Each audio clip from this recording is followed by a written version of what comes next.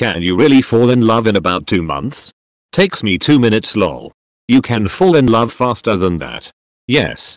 I fall in love so quick that I'm still single. Absolutely. In fact, I feel like I usually fall too fast. Yup. Absolutely, if everything falls into place. Yes. EU can lots of people fall in love with just the sight of someone love at first sight people. Yes. Most romances don't make it past 3 months. It's a point where the hormones stop shooting us up with puppy dog love. Real love is based on more than that and lust.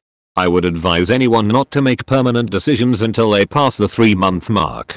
I think as humans we have the capacity to fall in love quicker than that. It all comes down to how long we are able to stay in that love. I think there is a difference about crushing and falling in love IDK what it was though. M looking at her the whole time. Why do I feel a warm feeling when I'm near her? Oh shit I'm crushing.